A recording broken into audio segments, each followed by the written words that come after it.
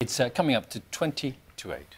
Six million Jewish men, women and children perished during the Holocaust. Today marks 71 years since the liberation of Auschwitz, one of the largest concentration camps. Well, Ernst Bornstein spent four years in seven different camps and later wrote a book about his experiences. Breakfast Graham Satchell has been to meet his daughter.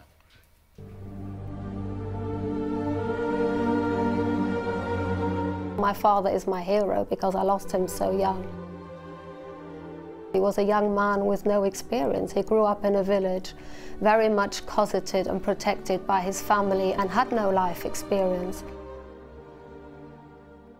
Ernst Bornstein was just a young man when he was taken from his village in Poland by the Gestapo and sent to a forced labour camp. Like millions of others, his parents and two younger sisters were gassed at Auschwitz.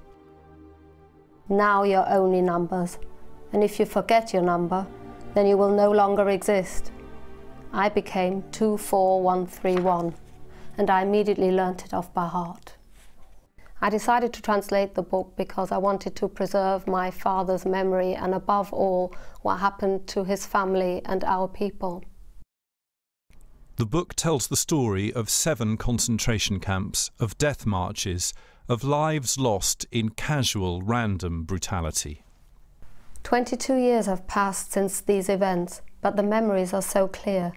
Grey, shaven figures with sightless eyes staring into the distance, waiting for a bullet to the head. I wait for them to speak, to moan, but they sit there, motionless, and then silently fall forwards. In one camp, Ernst is made to endure the horrors of working at the crematorium. When there was no room left for more piles of corpses, a ditch was dug adjacent to the barbed wire at the edge of the camp. It measured about seven to eight meters in width, length and depth. We threw the corpses into this ditch, poured tar over them, and set them on fire.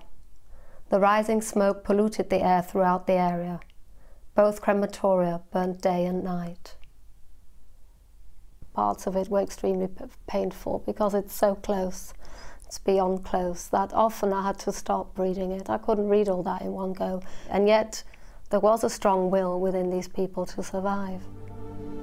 An inexplicable instinct enabled us to recognize danger from afar and conditioned us to be constantly vigilant day and night, to patiently await the morning and not to give in. After the war, Ernst became a dentist in Germany. He married and had three children. His book is a searing, relentless account of the worst atrocity of the 20th century. We are in danger of forgetting and wanting to forget because it is 71 years now and there is a danger of reality turning into history. On the 30th of April 1945, our freedom was restored to us. But still today, the mental shock of the concentration camps remains. The camps still hold me prisoner.